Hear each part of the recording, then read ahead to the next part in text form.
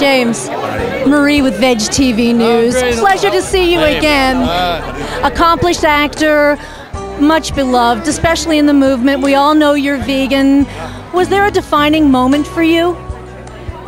Well, uh, I became a vegetarian because I came across the country on my motorcycle and I went through the stockyards of Texas for about what seemed like a day. And that's when I became a vegetarian in the first place. But then, because I did Babe and had the opportunity to speak on animal issues, I thought, well, I might as well, you know, become a vegan. Uh, the more I learn, the more appropriate that choice uh, seems. Uh, I think it's the best thing we can do for the planet, the best thing we can do for our bodies, the best thing we can do for our children, and certainly the best thing we can do for animals.